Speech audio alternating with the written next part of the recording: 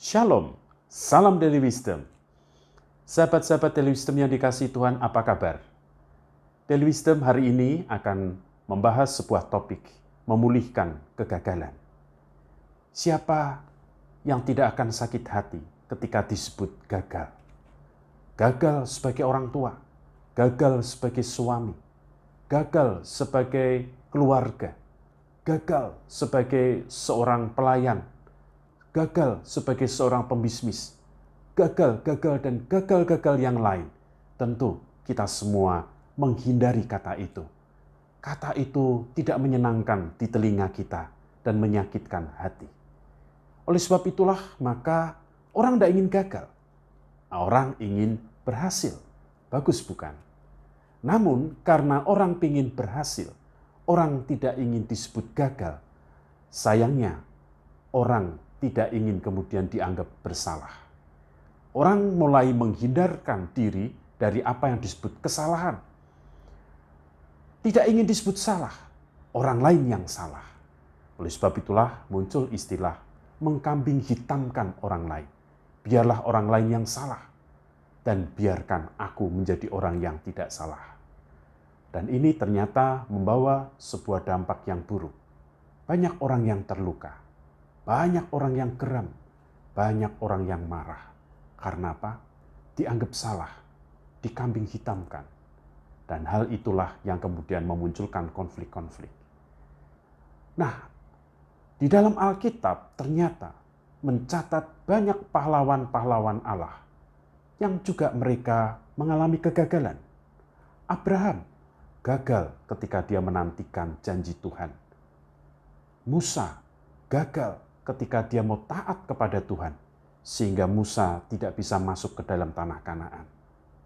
Daud gagal, dia jatuh dosa seksual, sehingga dia tidak diperbolehkan Allah membangun bait Allah. Petrus gagal sebagai murid Kristus, sehingga dia menyangkal Tuhan tiga kali. Marta gagal karena dia bersungut-sungut Paulus gagal di dalam menjalani keagamaannya. Dan masih tercatat lagi tokoh-tokoh di dalam Alkitab yang mereka mengalami kegagalan. Dan berita baiknya, di dalam kegagalan mereka, Allah tetap memakai mereka. Allah tetap memberikan mereka ruang untuk melakukan apa yang menjadi kehendak Allah. Oleh sebab itulah maka kita menangkap sebuah berita yang baik, yaitu kehadiran Allah melalui Yesus Kristus adalah untuk memulihkan kegagalan. Kita gagal karena ada dosa.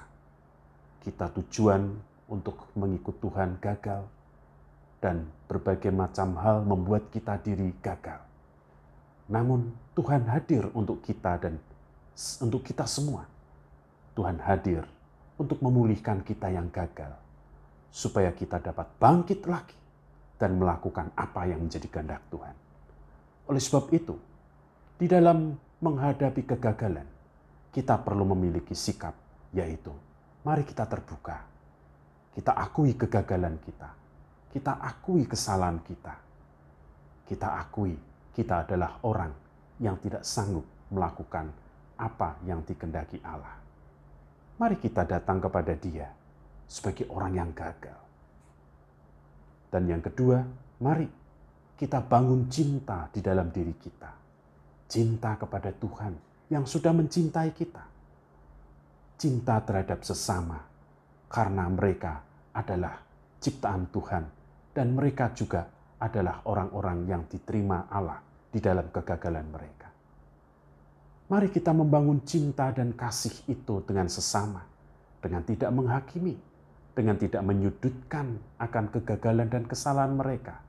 Mari kita meratap bersama-sama, karena kita semua adalah orang-orang yang gagal dan melakukan kesalahan.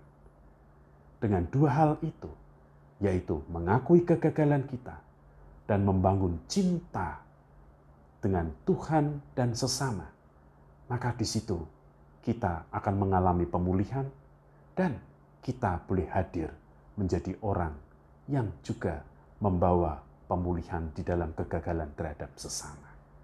Oleh sebab itu, sobat-sobat Daily Wisdom, mari kita bangkit, kita datang kepada Tuhan. Dia hadir untuk memulihkan kegagalan manusia. Salam Daily Wisdom, God bless you, tetap semangat selalu.